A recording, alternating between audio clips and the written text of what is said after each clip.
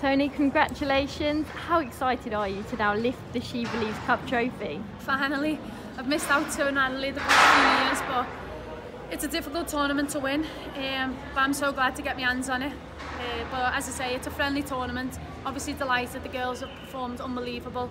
Um, but delighted to finally get my hands on it. But we know the big ones in the summer, so ready and ready to go for that now. And you touched on earlier, you mentioned that teams are now starting to fear you. What, what does that feel like? nice, finally.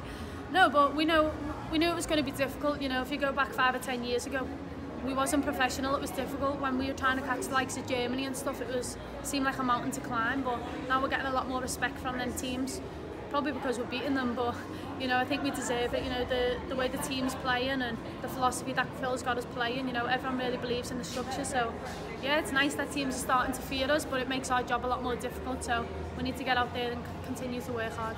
And at youth level, you you know you picked up that championship trophy you've got that experience of, of winning. Do you feel like you can add that value to this senior team?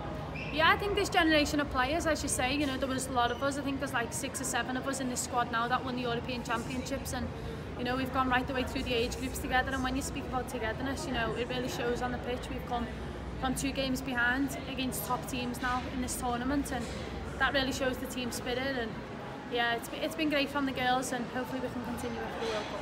And just quickly, what, what do you feel is different about this squad? Is it a mentality, a togetherness? yeah, I think both the mentality is so important, and I think also you got to look at our gaffer. You know, Phil Neville's come in. He's he's won absolutely everything with Man United, um, and he's instilled that belief into us. He believes in every single one of us.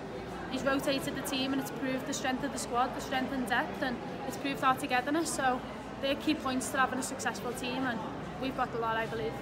And lastly, how much has Barcelona helped develop you as a player?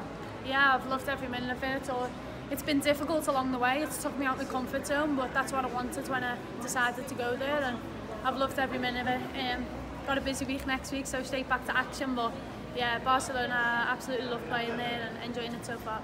Thank you.